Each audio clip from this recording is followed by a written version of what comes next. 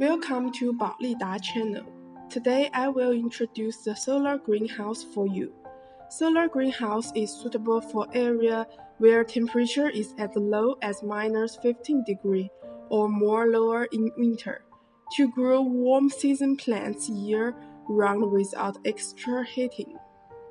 Greenhouse is adopted with whole steel skeleton as the holders which working life more than 20 years. Polycarbonate sheet life is at least 15 years. Large span column free structure, spacious space, strong bearing capacity of the skeleton, and long life. The roof material should be 120 or 150 or 200 microplastic PE film, which the outer layer could be anti-UV. The film around could be PO film. Also, it could be sunlight board or can be changed according to client's requirement.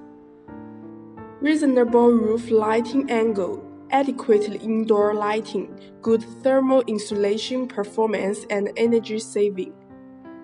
In winter, use thermal insulation quilt, straw curtain for thermal insulation, and electric curtain rolling machine for rolling and there is a side window system at the curve side, using the film ruler and insect-proof net.